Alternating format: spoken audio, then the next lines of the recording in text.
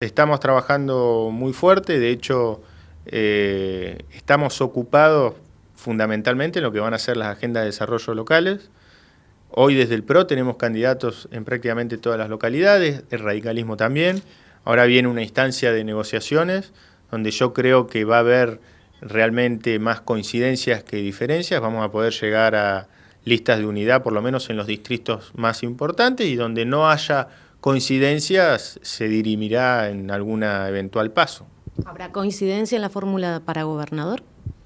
Yo creo que sí, yo creo que el electorado está pidiendo justamente esto.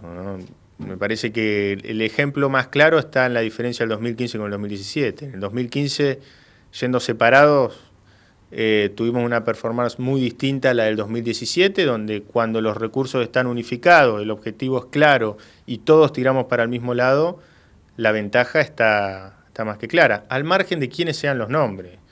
Eh, yo creo que la fórmula tiene que ser compartida y creo que el PRO tiene dirigentes que están a la altura de las circunstancias, tenemos hombres y mujeres que, que pueden ocupar ese lugar y del mismo modo también en la lista de diputados provinciales y eventualmente también en los municipios.